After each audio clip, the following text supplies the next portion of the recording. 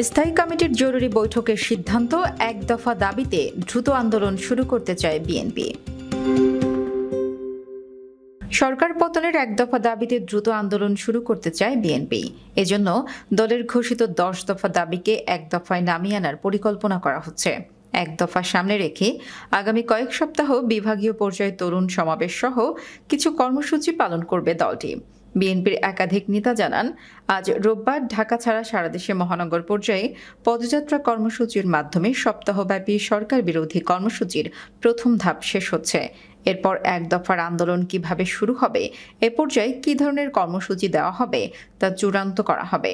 একাধিক দায়িত্বশীল নেতা জানান, বিএনপির শীর্ষ নেতৃত্ব সব জেলা ও মহানগরের দায়িত্বপ্রাপ্ত গুরুত্বপূর্ণ নেতা, দলের সাবেক এমপি, মন্ত্রী এবং দু সালের নির্বাচনে দলীয় প্রার্থীদের সঙ্গে ধারাবাহিক বৈঠক করছেন। এছাড়া বিভাগীয় সাংগঠনিক সম্পাদক এবং অঙ্গ ও সহযোগী সংগঠনের শীর্ষস্থানীয় বিএনপি নেতাদের সঙ্গে কয়েক দফা সমন্বয় বৈঠক করেছেন। ওইসব বৈঠক থেকে সবাইকে দ্রুত এক দফার আন্দোলনে নামার প্রস্তুতি নেওয়ার নির্দেশ দেওয়া হয়েছে। বিএনপির নীতি নির্ধারকরা বলেন, চলমান কর্মসূচি এক দফার আন্দোলনে যাওয়ার প্রস্তুতির অংশ।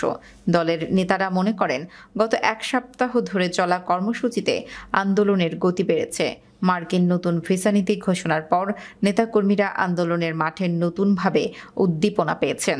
মাঠের এই আবহ এক দফার আন্দোলন সফল করার ক্ষেত্রে সহায়ক ভূমিকা পালন করবে। এ বিষয়ে বিএনপির ভাইস চেয়ারম্যান আব্দুল আব্বাল মিন্টু জানান, এখন যে কর্মসূচি চলছে তা এক দফার আন্দোলনে যাওয়ার প্রস্তুতির অংশ। স্থায়ী কমিটির গত কয়েকটি জরুরি বৈঠকে এক দফার আন্দোলনে যাওয়ার পরিকল্পনা নিয়ে আলোচনা হয়েছে। বৈঠকে নেতারা বলেন, হঠাৎ বিএনপি নেতাকর্মীদের বিরুদ্ধে গায়েবী মামলা দেওয়ার সংখ্যা বেড়ে গেছে। কারণ ছাড়াই নেতাকর্মীদের গ্রেপ্তার করা হচ্ছে। জামিন বাতিল হচ্ছে। এ অবস্থায় এক দফা আন্দোলনের দিনক্ষণ এগিয়ে আনা উচিত।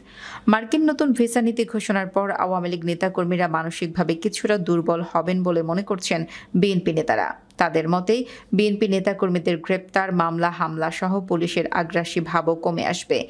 এই বিষয়গুলো সামনে রেখে দ্রুত কর্মসূচি দেওয়া উচিত বলে দলের বিভিন্ন পর্যায় থেকে মত এসেছে। গাজীপুর সিটি কর্পোরেশন নির্বাচনে বিএনপির অংশগ্রহণ না করলেও আওয়ামী প্রার্থীকে হারতে হয়েছে। বিএনপি নেতারা মনে করেন, এর মাধ্যমে সরকারের প্রতি জনগণ অনাস্থা ও বিএনপির প্রতি জনসমর্থন সম্পর্কে ধারণা পেয়েছেন তারা। আবার ভোটের আগ মুহূর্তে ভিসা নীতি ঘোষণার কারণে নির্বাচনের দায়িত্বে থাকা সরকারি কর্মকর্তা সহ আইন শৃঙ্খলা রক্ষা বাহিনীর সদস্যরা সংযত ছিলেন। ভোটের মাঠে তাদের আচরণে পরিবর্তন দেখা গেছে। বিএনপি এখন এসব পরিস্থিতিকে কাজে লাগাতে চায়। ছাত্রদল, যুবদল ও স্বেচ্ছাসেবক দলের যৌথ উদ্যোগে বিভাগীয় পর্যায়ে তরুণ সমাবেশ অনুষ্ঠিত হবে। দলের প্রতিষ্ঠাতা জিয়াউর রহমানের মৃত্যুবার্ষিকী উপলক্ষে প্রায় দুই দিন ব্যাপী কর্মসূচি শেষ হবে আগামী আট জুন। আগামী দশ জুন চট্টগ্রামে তরুণ সমাবেশের মাধ্যমে এই বিভাগীয় কর্মসূচি শুরু হতে পারে। সম্প্রতি বিএনপির শীর্ষস্থানীয় নেতৃত্বের সঙ্গে বৈঠকে এর সিদ্ধান্ত হয়েছে।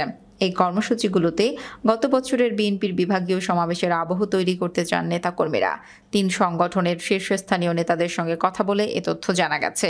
এছাড়াও ক্ষমতায় গেলে রাষ্ট্র সংস্কারে কি করা হবে সে বিষয়ে যুগপথ আন্দোলনের যৌথ ঘোষণা চূড়ান্ত করা হচ্ছে। গত বৃহস্পতিবার বিএনপির স্থায়ী কমিটির বৈঠকে দীর্ঘ আলোচনার পর তাদের ঘোষিত সাতাশ দফা বাড়িয়ে একত্রিশ দফার খসড়া তৈরি করা হয়েছে। আগামীকাল সোমবার স্থায়ী কমিটির পরবর্তী বৈঠকে যৌথ ঘোষণা চূড়ান্ত করা হতে পারে। এরপর যুগপথ আন্দোলনে অংশগ্রহণকারী দলগুলো এক মঞ্চ থেকে রাষ্ট্র পরিচালনার যৌথ ঘোষণা দেওয়ার পাশাপাশি এক দফার ভিত্তিতে নতুন কর্মসূচি দেওয়ার চিন্তা ভাবনা করছে।